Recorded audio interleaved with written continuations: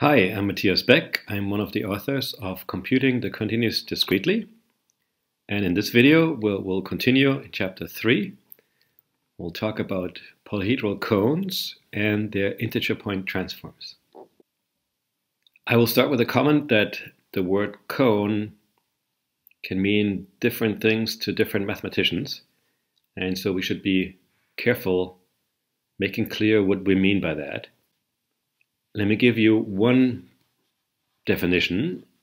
Namely, we're going to say that K, so this lives in some d-dimensional space, is a cone if the following is true, so you give me any x in k and any non-negative real number um, then lambda times x is also in K.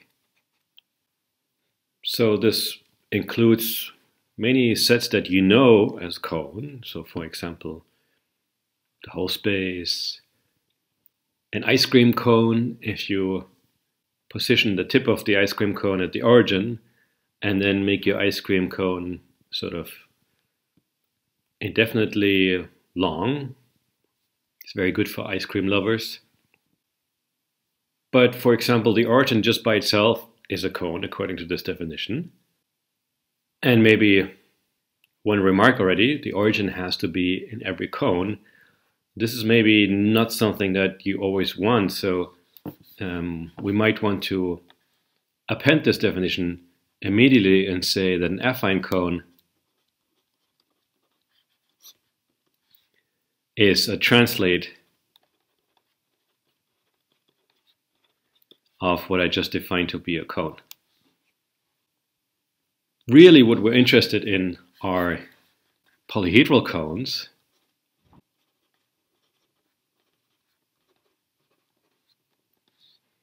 So that's really typically an affine cone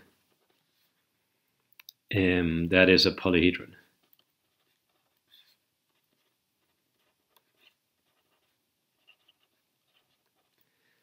Uh, even their definitions vary. Some books on polyhedral geometry, for example, um, don't allow the affine version of what I just wrote down. They will demand that a polyhedral cone needs to contain the origin so it needs to be a cone in the sense of my top line here. But we will allow polyhedral cones to be affine cones. And in fact, in a little while, whenever you hear me use the word cone, I mean a polyhedral cone in this affine sense. I hope out of section 3.2 you got a sense that there's um, an intimate connection between polytopes and cones. Again, I mean polyhedral cones here. I want to quickly go through this dictionary and point out many of the parallel concepts. For example, on the polytope side, we have the convex hull description of a polytope. Here it is, it's the convex hull of finitely many points, v1 through vn. And on the conical side, you have what I would call the generated description of a polyhedral cone. Namely, you have a finite set starting with v and then w1 through wm. And your cone is defined as you're standing at v and then you go into some direction W1, W2, and so on with non-negative coefficients. Next, on the polytope side, we have a hyperplane description. Any polytope can be written like a set x such that some matrix A times x is less than or equal to some right-hand vector b. And on the polytope side, I need to demand that this set is bounded. On the cone side, if I want to have an, a cone cont containing the origin, And then if I have an affine cone, this gets translated. The next thing we did for polytopes was defining faces. So if you remember, yeah, for a face, we needed a supporting hyperplane, and there was a condition on that, and then we got a face from that supporting hyperplane. The absolute analogous definition um, is at work in the setting of cones. On the polytope side, at that point we had now vertices. We discussed what it means to be an integer polytope or a rational polytope. And the analogous concept on the cone side is my generator being either integral or rational. It turns out that's actually the same because you can always scale a generator by a positive real number. So on the conical side, we simply talk about rational cones if my v and the wj's are rational vectors. The next concept we had on the polytope side was that of the simplex. So this is sort of like a, a polytope in a given dimension with the least number of vertices. The analogous concept on the cone side is a cone, again, of a given dimension with the least number of generators. If I have a d-dimensional cone, I need to have at least d generators, and such a cone will be called simplicial. And last but not least, we have the concept of a triangulation. So I'm repeating here the definition for a polytope. So for a polytope, a triangulation consists of simplices. So these deltas over here are simplices. And then we have this condition that any two simplices meet in a common face. On the conical side, we have the exact same definition, but now what I call delta here are simplicial cones. So instead of decomposing a polytope into simplices, I will decompose a cone into simplicial cones. The next concept I'd like to talk about are integer point transforms. So we're starting with a set S in R to the D for some D. And now we're forming a formal Laurent series, sigma sub S, and the terms are z to the m. These are Laurent monomials, where m runs through all integer points in S. I'll remind you that z to the m is a shorthand for the Laurent monomial z1 to the m1 down to zd to the md. This um, formal Laurent series as sort of first and foremost a smart way of listing all integer points in S. This is a this is a list, and for reasons that will become clearer in a little while, it's a it's a good way to list integer points in this form as exponents of these monomials, contrary to listing, which is a, a detailed information of the integer point structure in a set. If I can somehow compute this integer point transform, and I should also say my set S is finite, then um, evaluating at um, z equals 1, 1, 1, this means I will um, specialize my sum, you know, I'm summing 1 for every uh, integer point. So this is the cardinality. It's the number of integer points in S.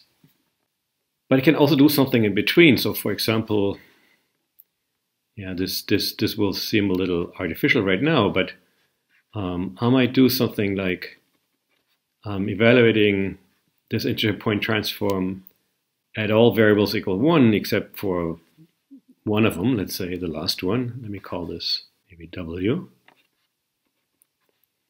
Yeah, so what am I doing here? So I'm now summing over all integer points in S, but I only keep track of the last variable, md. Yeah, so this will be now a generating function. Maybe, let's say, my last variable could be positive or negative. Yeah, so this will be a generating function where I'm now counting all integer points in S with last variable equal to k as a generating function in the variable w. For the remainder of this video, I will show you now, at least in special cases, that we can compute integer point transforms of cones in sort of a, a methodical way. My examples will be all in two dimensions, just so we can draw pictures. So my first example is um, simply the first quadrant. So I think of my cone as um, all of this here, and so if you want to write this in terms of generators, um, here's a description.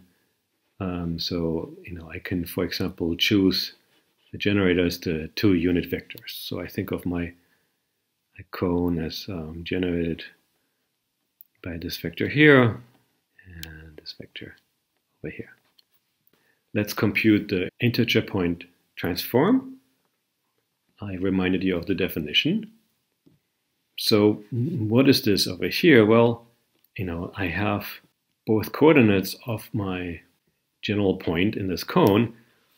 The only constraint I have is that m1 and m2 are both non-negative integers. So I have I have a, a sum that I can split up into two geometric series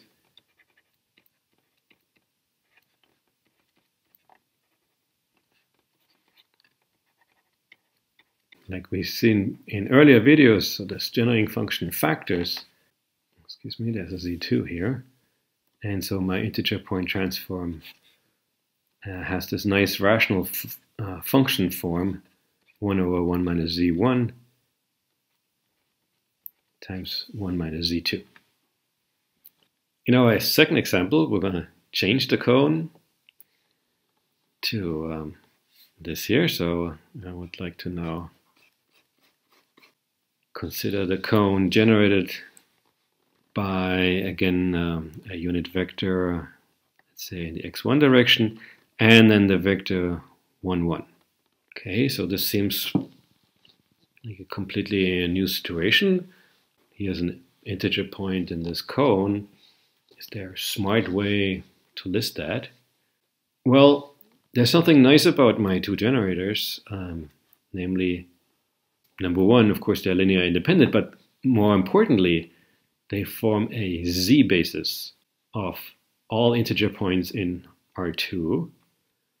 Yeah, so that means in particular that every integer point in my cone can be uniquely written as a, a linear combination with non-negative integer generators. So that means my, my generating function, yeah, so if I go back to my notation, think of this as a, a monomial z to the m you in two variables. I can now uh, write any such m uniquely as lambda 1, 1, 1 plus lambda 2, 1, 0 where my lambdas are now non-negative integers. What should we do here? Well, I can, uh, I can break up this uh, monomial as a, as a product of two things. And now remembering my multivariate notation, so there's a, a first term is z to the lambda 1 times the vector 1, 1. So z to the 1, 1, that's just a shorthand for z1, z2. and I will have to take that to the power lambda 1. And since I split this up, I have a product. So my second term is a z to the 1, 0. That's just a convoluted way of saying z1. And that comes with a power lambda 2. Okay, I have to sum over all lambda 1, lambda 2. And now this factors just like before. So this is again the product of geometric series, uh, one in the variable z1, z2, and then one in the variable z1. Our last example is this cone here. So I have again my generator sort of in the first basis vector, and then my second generator is the vector 1, 3. What I'd like you to notice um, is I can't do what I did on the last two slides. So these two generators, they do form a basis of R2, but they do not form a Z basis of the integer points in R2. Yeah, so if I form the same kind of um, generating function as what I did before, so I could now again do the same sum. I'm just summing over all integer linear combination of these vectors 1, 3 and 1, 0 no problem. This will give me a, a, nice product of geometric series. So what do we have here? I have a z1, uh, z2 to the third power, and then another 1 over 1 minus z1. Yeah, but I'd like you to think about, okay, which integer points am I actually capturing with that? With this generating function so far, well, you know, one geometric series captures all these points, fine. Um, another geometric series captures all these points, and then, of course, I can uh, combine. Yeah. Um, so, so far I have sort of the generating functions of these green points. So, what's missing? For example, this point is missing. But now what I can do is I can take the set of all green points and translate it by this blue vector 1, 1. You know, so what that would give you would give you a set that looks like just my set of green points um, sort of shifted one up. I'm going to do the same thing with this blue point here. This is 1, 2. I'd like you to convince yourself that this covers everything. So what did I do here? I started with the origin. I think of this also as a blue point. I created my uh, geometric series that you see on the right, my product geometric series. And now if I shift everybody twice, I will cover every integer point in this cone. Okay, so how should I change my generating function over here. Well, so over here, I'm writing all possible green points. I need to be able to do a shift. Shifting an exponent means you're multiplying by another power of z. You know, so for example, if I would take this here and multiply it by um, z1 times z2, I'm shifting each of these exponent vector by the vector 1, 1, which is precisely one of my blue points. You know, so what I eventually want to do, um, if I want to capture all integer points in, in this cone,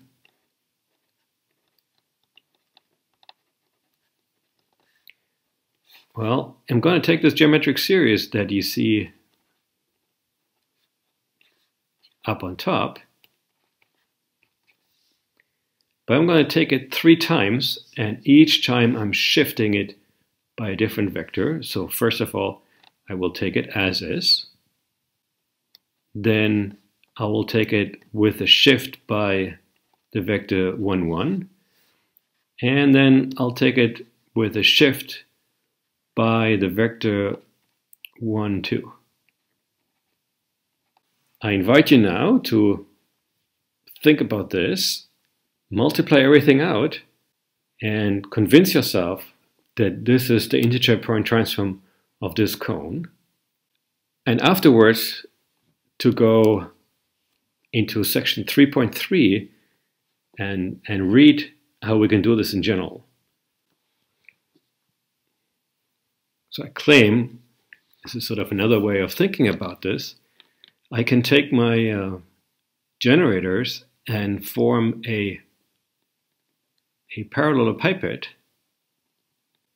you see here in green. Yeah, so, and I think of this as a half open parallelepiped. So this parallelepiped is is closed on the left and is is open on top and on the right. And so now what I'm going to do is I'm going to I'm going to tile my cone with translates of this parallelepiped.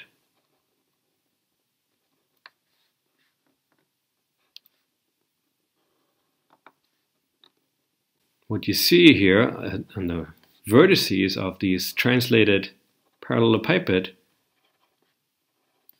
are precisely the points that we computed in our first generating function. There are some points that were missing, and those points that are missing are precisely sort of the remaining points in this parallelogram. Um, and I should take the origin in here too, because that is one of the points in this half-open parallelogram. And by translating my parallelogram all over the cone, you can think of I'm, also translating these three points, and that's precisely um, what gives rise to this um, kind of finite generating function on top.